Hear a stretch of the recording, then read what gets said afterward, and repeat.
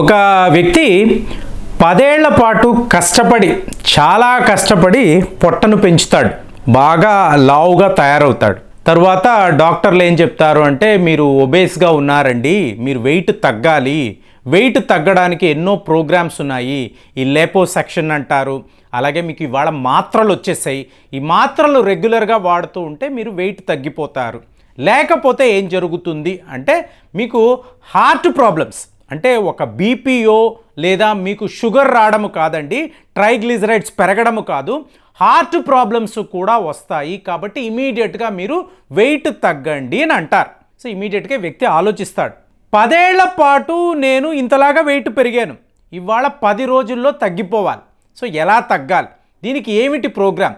ఎంత బడ్జెట్? ఎంత డబ్బు పెడితే నేను ఇంత ఫాస్ట్గా వెయిట్ తగ్గిపోతాను? ఎందుకంటే మామూలుగా ఈ సినిమా స్టార్స్ని చూస్తాం. వాళ్ళు సడన్ సడన్గా సిక్స్ ప్యాక్ అంటారు. నెక్స్ట్ చిత్రంలో సన్నగా ఉంటారు. ఇదేమైనా మ్యాజిక్ చేస్తారా? వీళ్ళు ఏమైనా మిరాకిల్స్ చేస్తారా అంటే ఆల్రెడీ నేను ఒకసారి మాట్లాడాను. ఈ దేహంలో అతి ముఖ్యమైన ఒక పదార్థం నైట్రిక్ ఆక్సైడ్ అని అంటారు. ఇప్పుడు మీరు ఒక సల్మాన్ ఖాన్ని చూడొచ్చు షారూఖ్ ఖాన్ని చూడొచ్చు. సడన్గా సిక్స్ ప్యాక్ ఇంతలా ఉంటాడు. ఎలా ఇలాగ ఇతనికి బాడీ వచ్చింది? ఈ కుర్రాళ్ళందరూ కూడా చాలామంది యంగ్స్టర్స్ జిమ్ములకు వెళ్ళి పదే పదే ఆ సల్మాన్ ఖాన్ యొక్క సిక్స్ ప్యాక్ కావాలి అని చెప్పి ప్రయత్నాలు చేస్తూనే ఉంటారు. మీకు దీనికోసరము మీకు ఎనర్జీ డ్రింక్స్ ఉంటాయి. మళ్ళీ ఏవో మాత్రలు. అంటే ఆ బాడీని పెంచుకోవడానికి ఇన్ని రకాల వీళ్ళు ప్రయత్నాలు చేస్తూ ఉంటారు. ఒక సల్మాన్ ఖాన్ ఎందుకండి ఈ పని చేస్తున్నాడంటే అతని యొక్క రెమ్యూనరేషనే మీకు వందల కోట్లు ఉంటాయి. కాబట్టి అతనికి అవసరము. సో దాంతో ఏం చేస్తారు ఈ డైటీషియన్స్? ఈ నైట్రిక్ ఆక్సైడ్ కలిగిన స్టెరాయిడ్స్ వీళ్ళకి ఇస్తారు. దాంతో ఈ బాడీ టక టక టక టక మీకు సిక్స్ ప్యాక్ వచ్చేస్తుంది. తరువాత ఒక ఆరు నెలలకి ఇంకొక స్టోరీ ఇంకొక సినిమా అక్కడ మీరు సన్నగా ఉండాలి. ఈ నైట్రిక్ ఆక్సైడ్ స్టెరాయిడ్స్ని ఆపేస్తారు. ఆపేసి కొత్త రకమైన మాత్రలు. కానీ ఈ బాడీ ఎంతలాగా డ్యామేజ్ అవుతుంది అనేది ఏ సల్మాన్ ఖాన్కో షారుఖ్ ఖాన్కో తెలియదు. ఇవాళ నాకు ఈ వందల కోట్లు కావాలి నా సినిమా సూపర్ హిట్ అవ్వాలి దానికి నా పాత్ర ఇలాంటి ఒక స్ట్రక్చర్ని కోరుకుంటుంది. కాబట్టి నేను ఈ పనులు చేస్తున్నానని చెప్పి వాళ్ళు చేసుకుంటూ వెళ్తారు. ఫ్యూచర్లో ఏమవుతుంది? ఒక అరవై ఐదేళ్ళు డెబ్బై ఏళ్ళు వచ్చినప్పుడు టోటల్గా డిటోరియేట్ అయిపోతుంది బాడీ. దాని గురించి ఎవరు కూడా ఆలోచించరు. కాబట్టి మీరు నేను వెయిట్గా ఉన్నాము ఈ వెయిట్ని తగ్గాలి అన్నప్పుడు ఇలాంటి ప్రయత్నాలు మనము చెయ్యకూడదు. నైట్రిక్ ఆక్సైడ్ స్టెరాయిడ్స్ అనేవి చాలా చాలా పవర్ఫుల్ మందండి. కానీ మన బాడీలో వంద శాతం నైట్రిక్ ఆక్సైడ్ ఉండాలి. ఒకవేళ నైట్రిక్ ఆక్సైడ్ తగ్గిపోయింది అనుకోండి అప్పుడే మనము మాట్లాడే బీపీలు షుగర్లు హార్ట్ ప్రాబ్లమ్స్ ఇవన్నీ ఉంటాయి. మరి వీటికంతా మీరు ఒక రెమెడీ చూసారనుకోండి సింపుల్ హోమ్ రెమెడీ. వెయిట్ తగ్గాలి అట్ ది సేమ్ టైం నాకు ఎటువంటి గ్యాస్ట్రిక్ ప్రాబ్లం రాకూడదు హార్ట్ ప్రాబ్లమ్స్ రాకూడదు నా బాడీలో ఈ చెడు కొవ్వు అంటే బ్యాడ్ కొలెస్ట్రాల్ అనేది పెరగకూడదు అన్నప్పుడు చిన్న రెమెడీ చాలామంది మాట్లాడుతూ ఉంటారు ఏముందండి ఎర్లీ మార్నింగ్ ఈ నిమ్మకాయ రసం ఉంది చూసారా? ఈ నిమ్మకాయ రసము అలాగే మీకు హనీ ఈ రెండింటిని కలిపి తాగితే వెయిట్ తగ్గిపోతాము కదా అని చెప్పి మాట్లాడతారు. ఇదే రెమెడీని ఇలా ఆలోచించండి. అంటే రేపు ఇప్పుడు వర్షాకాలం అని మాట్లాడతాము రేపు ఎండాకాలం ఏ సీజన్ వచ్చినా కూడా ఒక చిన్నపాటి పొడిని మీరు తయారు చేసి పెట్టుకున్నారు అనుకోండి ఇది ఒక డెడ్లీ కాంబినేషన్. మీకు రేపు ఎప్పుడూ కూడా ఏ రోగము రాకుండా ఆపాలి అంటే జస్ట్ రిమెంబర్ అండి చిన్న రెమెడీయే చిన్న కరెక్షనే ఇవాళ నిమ్మకాయల గురించి మాట్లాడుతున్నాం చూసారా? ఇది ఒక వండర్ అండి. నిమ్మకాయ అంటేనే ఒక వండర్ అందువల్లే ప్రతి ఒక్క పండుగ అనండి మీకు పూజలు అనండి మీకు ఎక్కడైనా దిష్టి పోవాలన్నా కూడా మనం నిమ్మకాయని పెడతాం. ఎందుకు పెడతారు? ఆ రోజుల్లో మీరు చూడండి ఒక నిమ్మకాయ ఒక పచ్చిమిరపకాయ అలాగే మీకు ఒక తాడు దాంతో పటిక రాయి ఇవన్నీ పెడతారు. ఎందుకు పెడతారు? గ్రామాల్లో మీకు వ్యవసాయం చేస్తున్నప్పుడు సడన్గా పాము కాటు అన్నప్పుడు ఇమీడియట్ రెమెడీ. ఫస్ట్ ఎయిడ్ మీరు ఇవ్వాలి అనుకోండి ఫస్ట్ ఫస్ట్ ఏం చూస్తారు అంటే మీకు దాన్ని ఆపాలి. దాని ఇంటెన్సిటీ ఆ పాయిజన్ యొక్క ఇంటెన్సిటీని ఆపాలి అంటే వెంటనే నిమ్మకాయ ప్రతి ఇంట నిమ్మకాయ ఉంటుంది. కోసి దాని ముందు ఇతన్ని తాగిపిస్తారు. సో అప్పుడు ఈ పాయిజన్ యొక్క ఇంటెన్సిటీ అనేది తగ్గిపోతుంది. రెండవది ఎప్పుడైతే పాయిజన్ పెరిగిందో ఇతనికి ఆ టేస్ట్ అనేది తెలియదు. ఇవాళ చూడండి వ్యాక్సిన్స్ వేసుకున్న తరువాత ఎంతోమందికి ఈ టేస్ట్ బడ్స్ అనేవి చచ్చిపోయాయి. తెలియడం లేదు. ఏం తింటున్నామో తెలియడం లేదు. కాబట్టి దీన్ని టెస్ట్ చేయడానికి ఏం చేస్తారు? ఆ పచ్చిమిరపకాయ ఉంది చూసారా? దాన్ని కొరకమంటారు. కొరికినప్పుడు అతనికి ఆ కారం తెలిసిందే అనుకోండి. అప్పుడు ఈ విష ప్రభావం పాము కాటు యొక్క విష ప్రభావము చాలా చాలా తక్కువగా ఉంది. ఇతను నార్మల్గా ఉన్నాడు అనేదాన్ని వీళ్ళు గుర్తిస్తారు.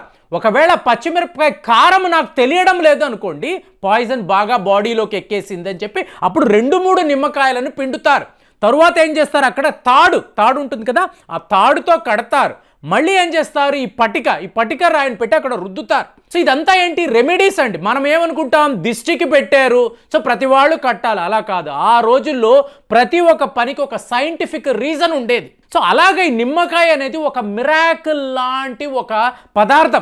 సో ఇప్పుడు ఈ నిమ్మకాయని ఏం చేస్తారు? ఒక నిమ్మకాయని తీసుకున్నారు. రెండుగా కట్ చేస్తారు. కట్ చేసి మీరు ఏం చేయాలంటే రాత్రి ఆ రోజు రాత్రి మంచినీటిలో ఈ నిమ్మకాయ యొక్క రెండు తొనలు అంటే ఒక నిమ్మకాయని రెండుగా కట్ చేశారు కదా ఇందులో వేసేయాలి. వేస్తే ఏం జరుగుతుంది? నిమ్మకాయ రసము అనేది ఈ నీటిలో మెల్లమెల్లగా కరగడం మొదలవుతుంది. అంటే నీరు అబ్జర్వ్ చేసుకుంటుంది. ఇదేదో డైరెక్ట్గా నిమ్మకాయ జ్యూసే తాగొచ్చు కదా ప్రేమ్ గారు మీకు డౌట్ వస్తుంది. ఇక్కడ ఏమిటంటే ఆ నిమ్మకాయ యొక్క స్కిన్ ఉంది చూసారా? తోలు. అందులో ఒక రకమైన చేదు ఉంటుందండి. ఈ చేదు ఎంత ముఖ్యమో అంటే మీరు ఒక్క నెల రోజులు తాగి చూడండి మీకు బీపీ షుగర్ లాంటివి ఏవైనా ఉంటే మీకు గ్యాస్ట్రిక్ ప్రాబ్లమ్స్ ఉంటే అప్పుడు నేనేం మాట్లాడుతున్నానో మీకు అర్థమవుతుంది. ఏదో ఉత్తినే నేను చెప్పడం లేదండి. కాబట్టి నిమ్మకాయని రెండుగా కోసి రాత్రి నీళ్ళలో వేసి ఉంచేయండి. ఒక పొడిని తయారు చేయండి. ఆల్రెడీ నేను ఒక పొడి గురించి మాట్లాడాను. అది మీ దగ్గర ఉంటే ఎప్పుడు కూడా హార్ట్ ప్రాబ్లమ్స్ అనేవి రావు. ఏమీ లేదండి. సొంటిని తీసుకోండి మిరియాలు తీసుకోండి పసుపు కొమ్మలు ఆర్గానిక్ పసుపు కొమ్ములు తీసుకోండి పిప్పల్లో అంటారు. పిప్పళ్ళు పొడి ఉంది చూసారా? ఒక ఎక్స్ట్రాడినరీ మెడిసిన్ అండి. సో దీనిని ఏం చేస్తారంటే పొడి చేసుకోండి. నాలుగిటిని కూడా వీటంతా సమపాళ్ళలో మీరు మిక్సీలో వేసుకొని ఈ పొడిని ఒక బాటిల్లో ఉంచుకోండి. ఇది మీకు ఆల్ పర్పస్ రెమెడీ అండి. మీకు ఎలాంటి అంటే మీరు బాగా లావుగా ఉన్నారంటే నెల రోజుల్లో మీకు తేడా కనిపిస్తుంది. ఒకవేళ మీకు బీపీ ఉంది షుగర్ ఉంది ఇమీడియట్గా మీ షుగర్ లెవెల్స్ అంతా కూడా నార్మల్ అయిపోతాయి. హార్ట్ ప్రాబ్లమ్స్ ఉన్నాయి అనుకోండి అక్కడ ఉండే బ్యాడ్ కొలెస్ట్రాల్ కూడా తగ్గడాన్ని మీరు క్లియర్గా చూడొచ్చు. సో ఇప్పుడు ఏం చెయ్యాలంటే రాత్రి సాక్ చేసిన ఈ నిమ్మకాయల తొన ఉంది చూసారా?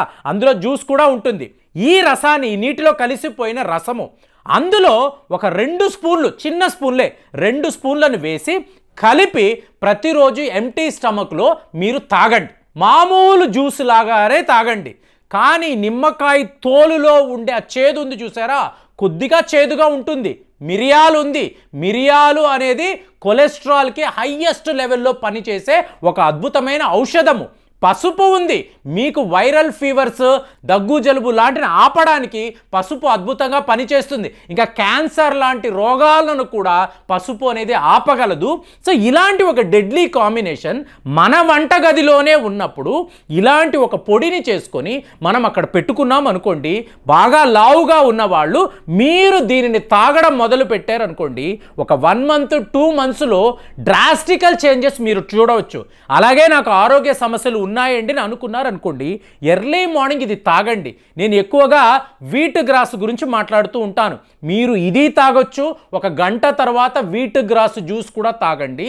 ఇలాంటి రెమెడీస్ చాలా చాలా సింపుల్గా దొరికే రెమెడీస్ వీటిని ఫాలో అయ్యామనుకోండి మనం ఏదైతే సాధించాలనుకున్నామో దాన్ని సాధించవచ్చు. అది వదిలేసి మనము వెయిట్ తగ్గాలని చెప్పి వేల రూపాయలు ఖర్చు పెట్టడము ఏవేవో మాత్రలు వేసుకోవడము లేదా ఇలా నైట్రిక్ ఆక్సైడ్ స్టెరాయిడ్స్ వేసుకోవడము అన్ని వేల రూపాయల్లోనేనండి. బోల్డంత ఖర్చు ఆరోగ్యం పాడవడమే.